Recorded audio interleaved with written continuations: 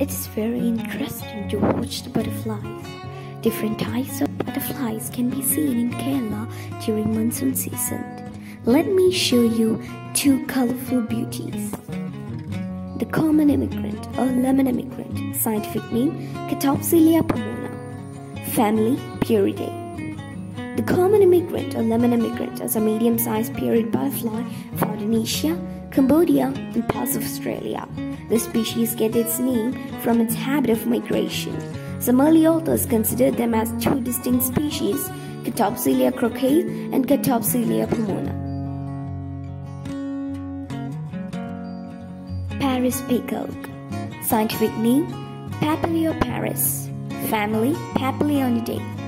Papilio paris, the Paris peacock, is a species of swallowtail butterfly found in the Indian subcontinent and Southeast Asia. This is a large-tailed butterfly with black wings dusted with golden green scales and hind wing with iridescent blue patch.